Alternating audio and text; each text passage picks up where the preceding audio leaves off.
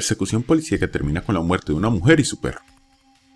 Una investigación está en marcha tras la muerte de una mujer y un perro en un coche robado después de que el conductor presuntamente trató de atropellar a un oficial. Los oficiales en el cajón vieron un Toyota rojo robado alrededor de la 1.25 de la mañana del sábado. Una persecución de inicio con el Toyota alcanzando velocidades de hasta 150 km por hora.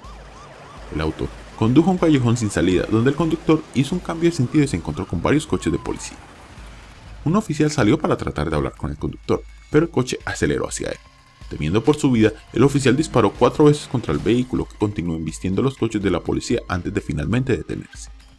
Una pasajera no identificada y un perro murieron como consecuencia de los disparos.